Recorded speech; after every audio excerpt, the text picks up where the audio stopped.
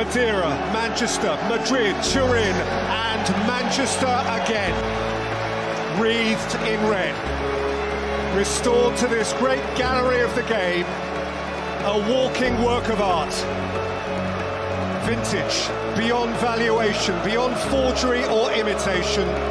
18 years since that trembling teenager of touch and tease first tiptoed onto this storied stage.